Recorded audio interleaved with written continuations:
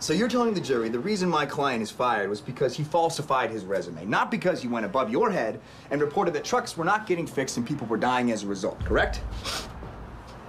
Say yes. Yes. It's a simple question, and I remind you, sir, that you're under oath. That may be what it looks like. No further questions, Your Honor. After my accident, my friend Jeffrey invented this.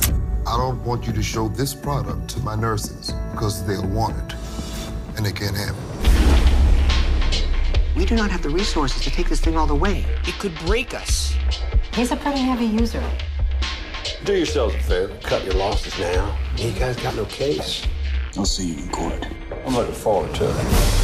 I have Senator O'Reilly calling from Washington, D.C. Under. I'll get myself cleaned up.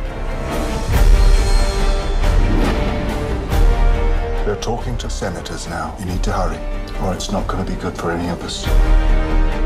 These guys are dangerous. You two, you're going down. You just want to win. That is all you've ever cared about. Yeah, well, at least I have the courage to lose for what's right.